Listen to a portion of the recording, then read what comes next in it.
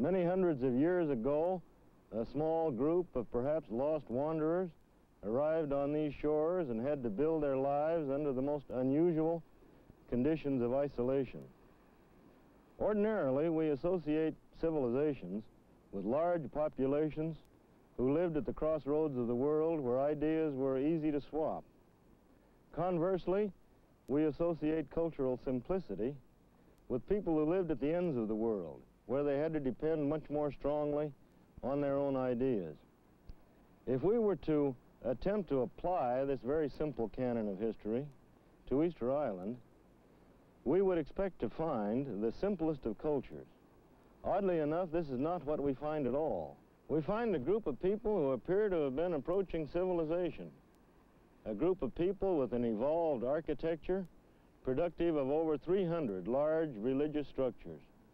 A group of people with a spectacular sculptural art, productive of over a thousand gigantic statues, and along with these, the engineering ideas necessary to move the massive stones to carry out these things. A group of people who had a written language, which remains undeciphered, but nevertheless is not known to be related to any other script. A group of people who had a political theocracy, an organized priesthood, and a stratified population. A group of people who knew a good deal about solar movements and who were capable of marking precisely the positions of the solstice and the equinox. All these things we'd ordinarily expect to find associated with civilization, and by no means among a group of people who lived in the extreme isolation that formerly characterized Easter Island. Dr. William Mulloy speaks with authority. He's a professor of anthropology at the University of Wyoming and first visited Easter Island in 1956 with the Thor Heyerdahl expedition.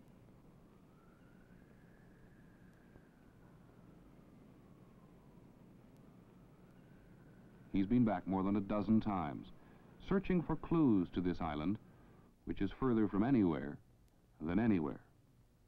Located about halfway between Chile and Tahiti, this 46 square mile speck is surrounded by a million square miles of uninhabited ocean. The nearest populated island is Pitcairn, more than 1,400 miles to the west. South America is 2,300 miles to the east. This eerie, serene, desolate island is the loneliest spot on Earth. The origin of Easter Island's spectacular society is shrouded in mystery.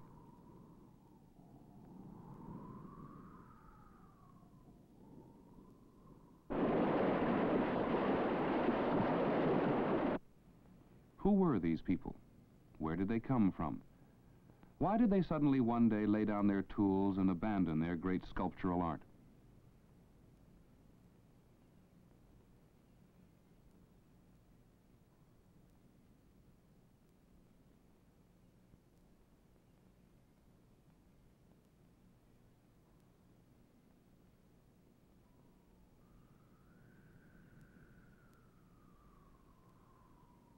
Today's island population offers a few clues.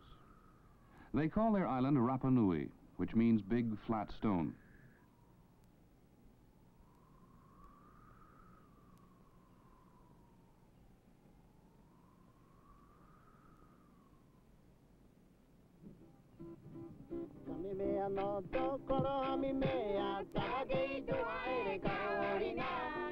History on Rapa Nui isn't written in books.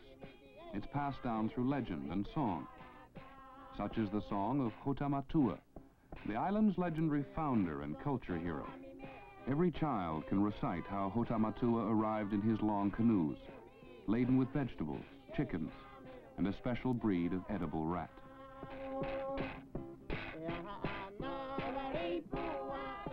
The song says that Hotu Matu'a came from Hiva, but anthropologists don't agree as to where Hiva was.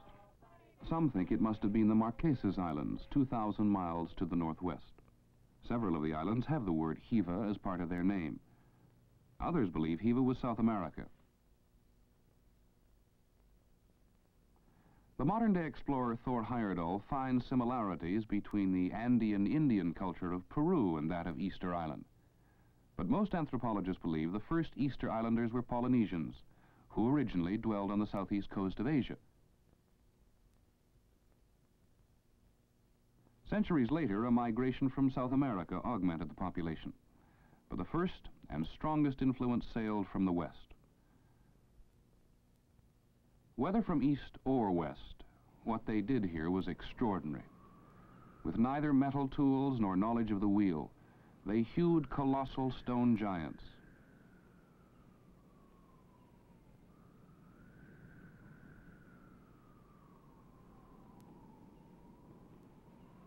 Surveying a windswept, rock-strewn landscape, these stone giants attested to the genius of this so-called Stone Age people. All but one of the statues standing on platforms today were raised by Dr. Mulloy and a team of islanders. His theory is that dozens of small tribes competed with one another to build bigger and better statues, called moai, to adorn precision-built stone platforms used as religious altars. But there is seldom consensus about Easter Island. Other scientists insist the platforms, called ahus, were used as mausoleums, and the moais carved to adorn them. Whether adorning altars for the living or mausoleums for the departed, these brooding, haughty giants stood as magnificent sentinels.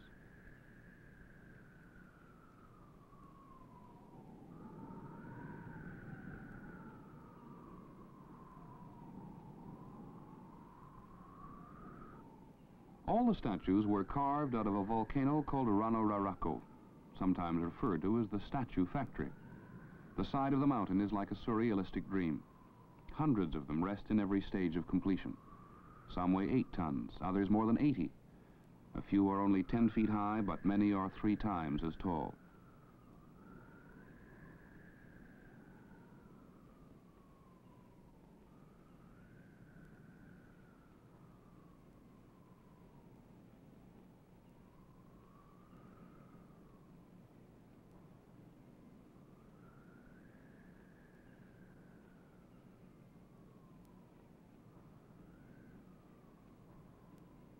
How did they move such mammoth creatures?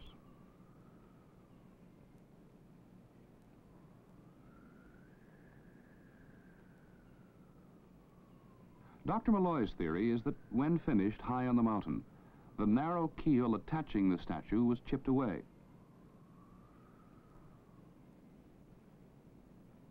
Using hibiscus rope, it was lowered down a prepared runway where it landed in an upright position. Using models, Dr. Mulloy experimented with moving the statues. He believes the workers lashed the moai to a specially fitted sled made from a massive tree fork. Another cable, also of hibiscus fiber, was attached from the statue's neck to the junction of a large bipod. Next, it was pulled forward by another cable. The bipod was then repositioned for the next forward thrust. According to legend, the moai walked by magic, and this movement did resemble walking.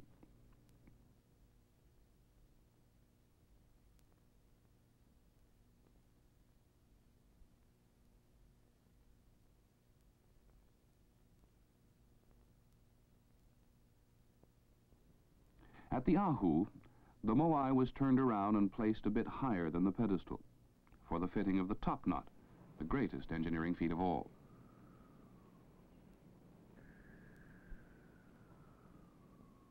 It was attached and held in place by two sturdy beams. Both beams and topknot were strapped with rope.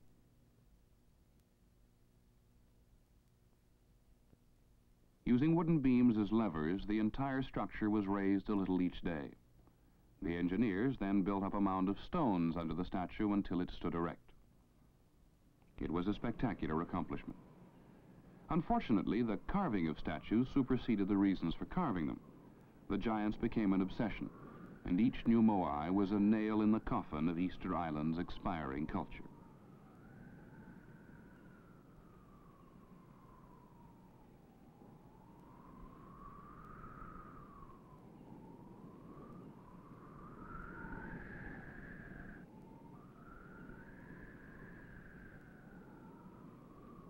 As time passed, these activities continued in intensity.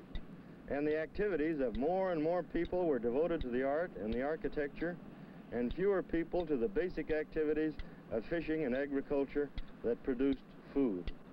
The society was able to resist this kind of disequilibrium for a considerable period of time.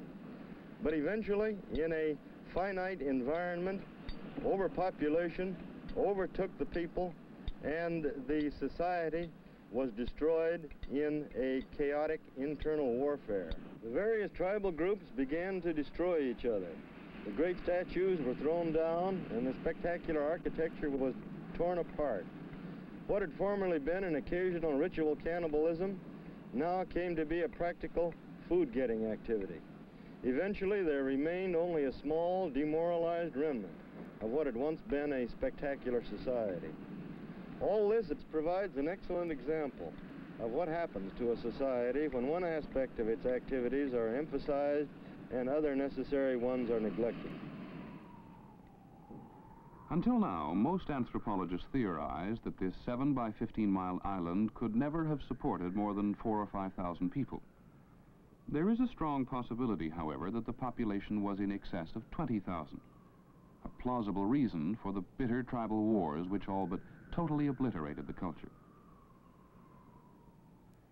Island legend has it that all the problems started at a place called Poike. There were two protagonists, a small tribe called Hanau E'epe, and a much larger one called the Hanau Momoko, interpreted by many Easter Island scholars to mean long ears and short ears. The larger Hanau Momoko tribe was virtually enslaved. After many years, they revolted.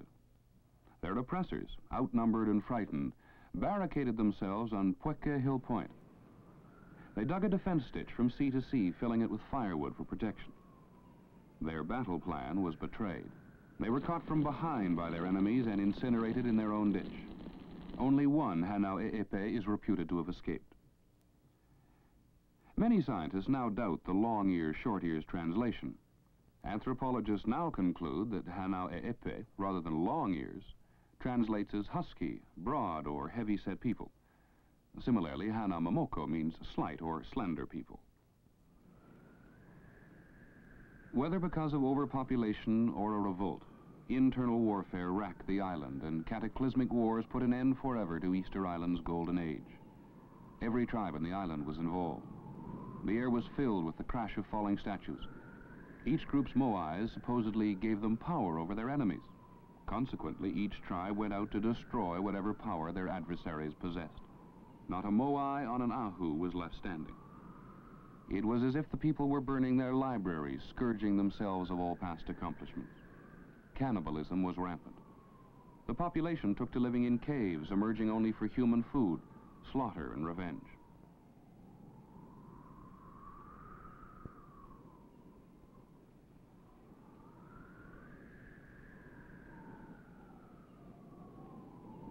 The Dutch explorer Roggeveen discovered and named the island on Easter Sunday, 1722.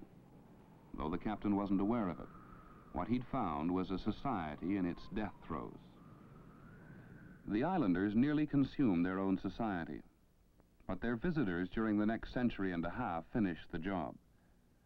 Rapa Nui welcomed the ships at first, but violence and death accompanied too many landing parties.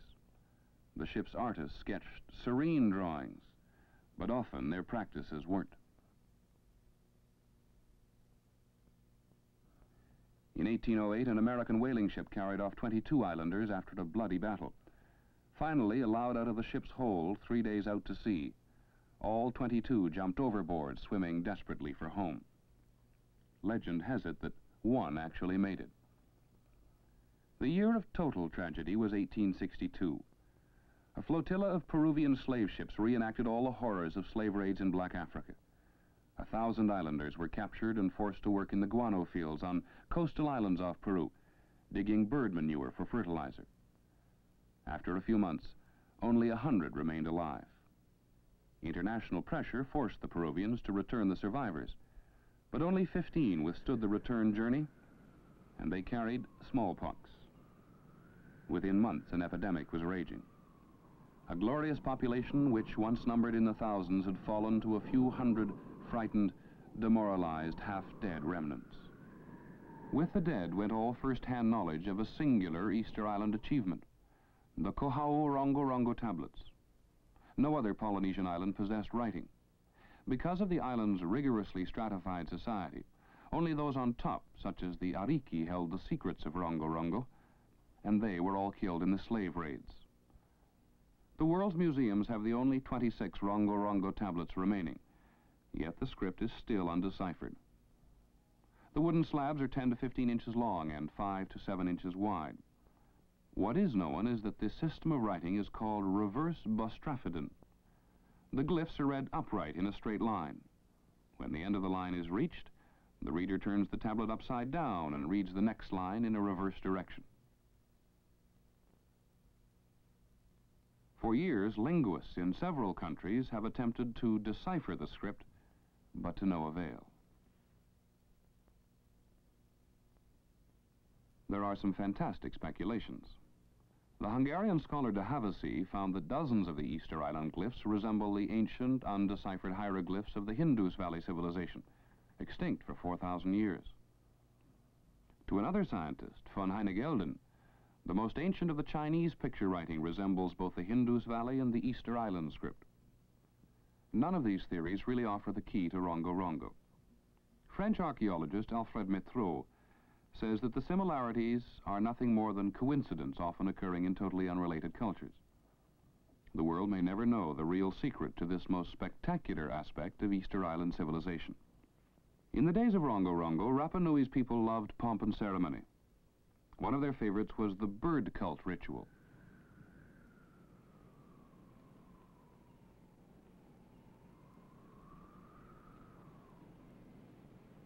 This is Orongo, Easter Island's famous ceremonial village. It lies on the knife-like crest of the volcano of Rano Kau. This village was associated with the ceremonies of Easter Island's well-known bird cult, the cult of the sooty tern. Here in this village of special construction, long, narrow subterranean houses unlike any other on the island, there assembled each year the Matatoa, the tribal war leaders, who had assumed power after the time of the Ariki, the old religious leader. Each of these Matatoa had brought with him a specially trained athlete, and at the appointed time, these were sent swimming through the shark-infested waters to the little islet of Motunui, which we see here. This islet lies about 1,400 yards off the coast. The athletes remained on the islet for days, sometimes for many days, until one of them was lucky enough to find the first new-laid egg of the sooty tern. With this, he returned to Orongo and presented it to his sponsor, who then acquired the title of Birdman of the Year. A special petroglyph, as we see here, showing a man wearing a bird mask, was carved in his honor.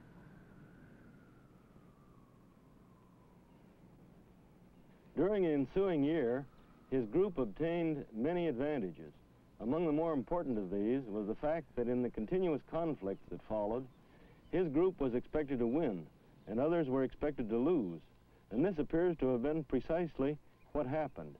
Horrible atrocities were committed by the victorious group, and only at the end of the year, with the investiture of a new birdman, were the tables turned.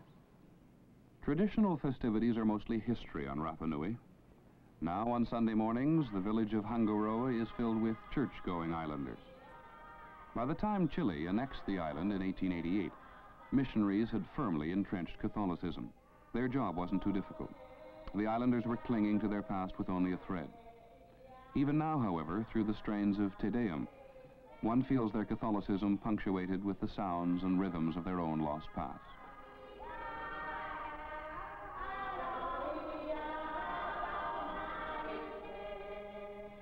The late Father Sebastian Englert is one of the reasons we know as much as we do about Rapa Nui. A missionary priest for the Easter Island Parish, Father Sebastian was a Capuchin monk from Bavaria. During his 35 years here, he became a veritable authority on Easter Island's ethnology, archaeology, and especially linguistics. He published two books on the Rapa Nui language, which somewhat resembles Tahitian. Anything of archaeological interest, he carefully numbered and noted. Over the years, he made an extensive collection of Rapa Nui artifacts, which will become the nucleus of the new Easter Island Museum. Father Sebastian loved Rapa Nui and its people. They, in turn, revered him. Consequently, he possessed a rapport that no outside investigator could match, and he obtained knowledge of the island simply not available to others. During his more than three decades here, he became convinced of the basic Polynesian background of the islanders. Kainga mata po urito o e mahuna te ra ake noa a koe. Tai pe uta pe tomato mata ma ehi te uinga hang. Au e nua e, au e koro e, au e ngā kope. Kainga mata po urito o e mahuna te ra ake noa a koe. Au e nua e, au e koro e, au e ngā kope.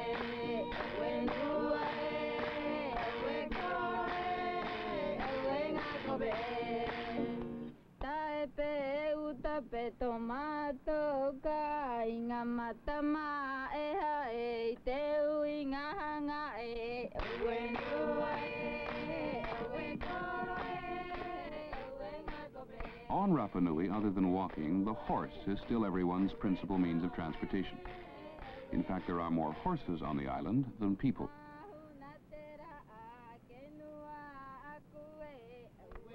Ue the only village on the island, still has some of the charm of the past.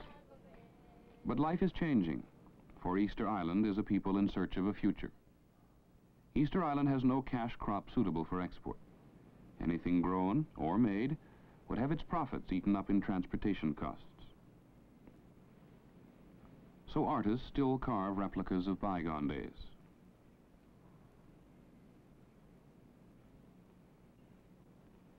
And fishermen continue bringing home their daily catch.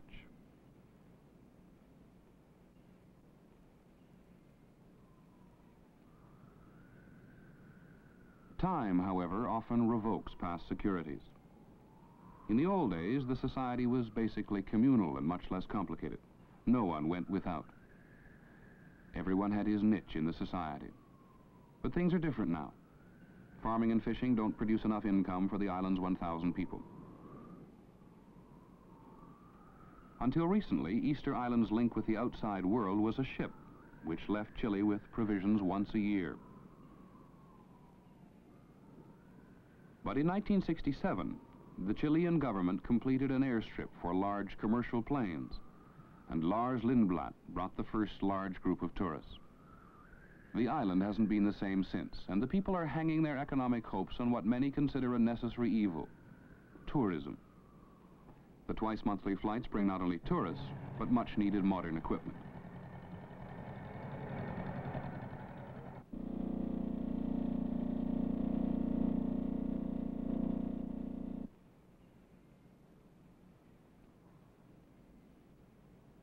Money has been introduced into what was basically a barter economy. But unfortunately, there is still very little to buy. The school in Hanga Roa has eight grades, and already the children are feeling the effects of contact with the outside world.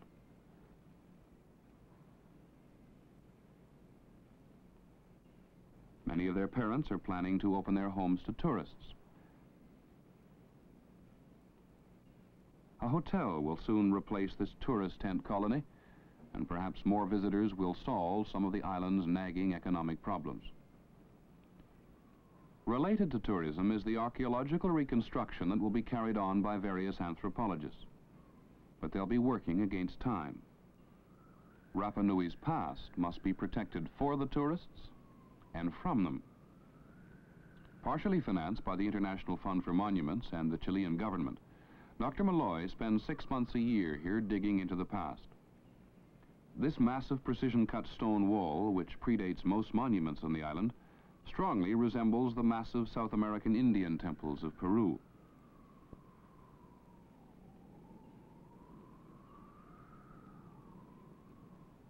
The remains of relatively small, exquisitely fashioned boat-shaped houses dot the island.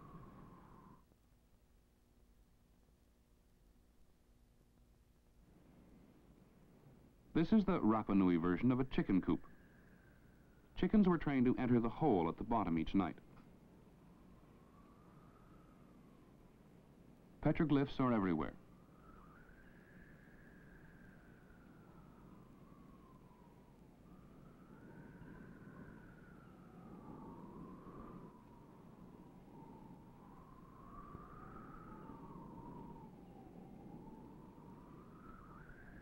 The island is tunneled with hundreds of caves where paintings tell the tale of subterranean living.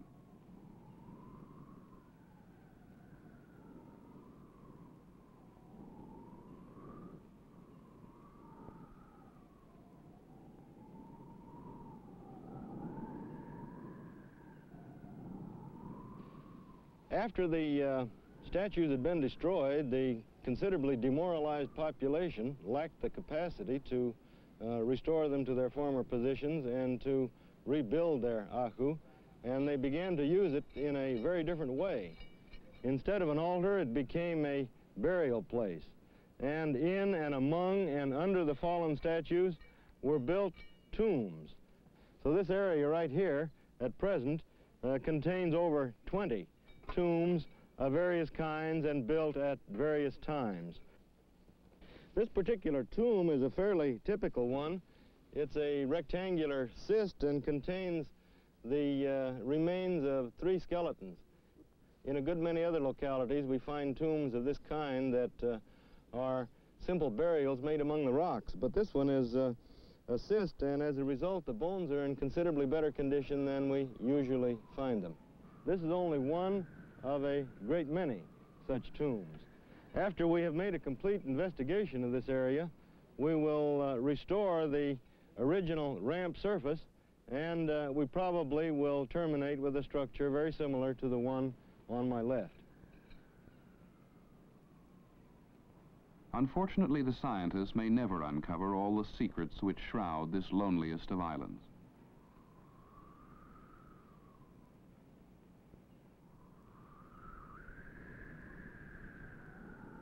Hopefully, the world will learn from what we know happened here.